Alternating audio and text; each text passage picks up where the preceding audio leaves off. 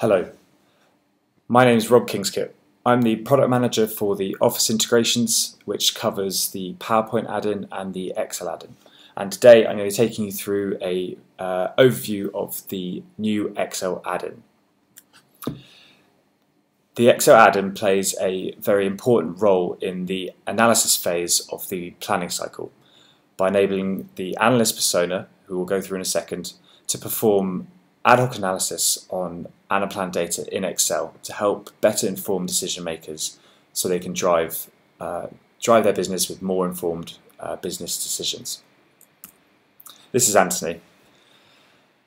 Anthony and his role of informing Danielle, the decision maker, uh, are our key focus for the Excel add-in. And the reasons being is he is able to use the add-in to identify reasons for change, uh, give an overview and respond to questions on performance, and easily capture outputs for Danielle to consume. And so he makes the primary persona that we are focusing on for the Excel add-in. The Excel add-in is very simple to install. It and enables very performant extra extracts of your Anaplan data uh, and can run in parallel to the old version.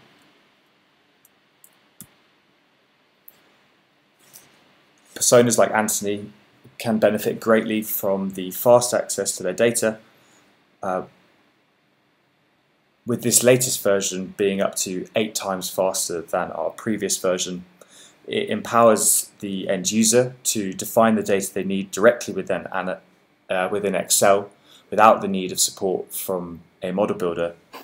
And it is all completed within a very familiar UI. It's worth mentioning that we still have a version 2.6 in market, with the objective being to deliver uh, feature parity with 2.6 in the new version 3 series, so that we are able to start moving everyone from the old version 2 uh, add-in to the new version 3 series. But more information will be available on that in the coming releases. The two key items remaining for the version 3 series are the ability to extract saved views and the ability to write back data from Excel into Anaplan, both of which are in the pipeline. But more on that in future releases. To get hold of the add-in, you can simply go to Anapedia and download it. Uh, once you have it, you can install it or get your IT team to install it and log in and connect to Anaplan. It is worth noting that if you are watching this and you currently have the version 3 of the add-in installed, you must make sure you uninstall version 3 before installing version 3.1. There is more information available on that on the uh, Anapedia site. There is no additional pricing associated.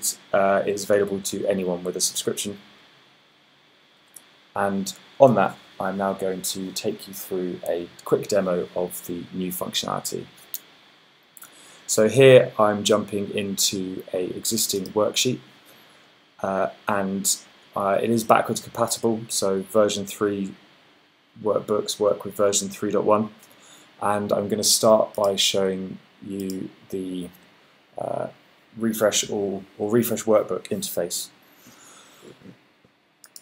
We've made updates to this interface so it's very clear and transparent what is going on and where, so the customers or users rather are informed contextually uh, on the refresh action as it takes place.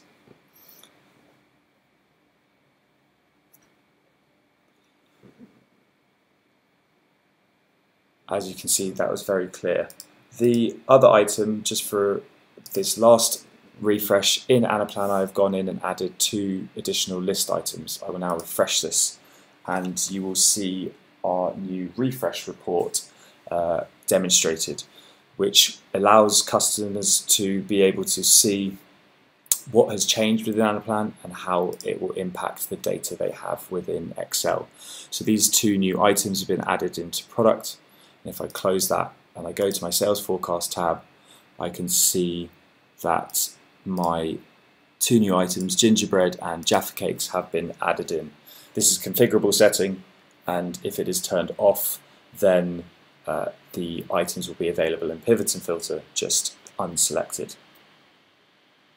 So now I'm going to demonstrate the the toolbar now maintains your selection, but I want to demonstrate a couple other features whilst you see that taking place. I'm going to jump in to see uh, my time dimension and add in FY15. This will very quickly find where to insert it in the sheet and uh, do so. You can also see that Russia has been maintained. Now, I can quickly see that quarter levels has really thrown off my uh, graph. So without having to go back into pivot and filter, I can just delete them from the table. And if I jump back into pivot and filter, you'll see that these items have also been unselected from my filter. This is the beginning of a step to break down the barrier between Excel and the add-in so it's more intuitive and efficient to interact with Anaplan data within the Excel add-in. So now I want to talk to you about how we are enabling our users to define how they want the add-in to operate and we've done this with uh, the introduction of a settings section uh, so for this next piece, I want to remove and apply Anaplan styling, and I also want to remove the display connection description. So I've hit OK. If I refresh now, the connection details will disappear. But if I need that information, I can see that from the hover over that is now available in the toolbar. As Anthony the analyst, I want to customize my output so I can distribute it to Danielle. I can now remove my borders and I can set the colors and formatting to how I require it from a cell color perspective. I can also change my font to any desired font I require. I want to make totals a bit bigger. And I want this sheet to be Russia sales forecast. So now once I have the display that uh, Danielle, my decision maker, is used to, I can very quickly jump into the Anaplan tab, hit clone connection, so that will take all the information in this sheet, including my graphs and the Anaplan connection, and clone it, so you can now see two sheets at the bottom. And I can change this to a mirror, hit refresh, that will update.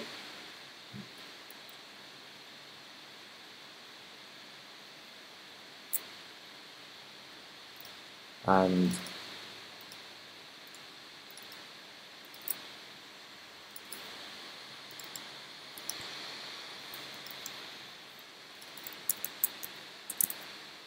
by updating the sheet name. My document is now ready to be shared with Danielle as she expects it.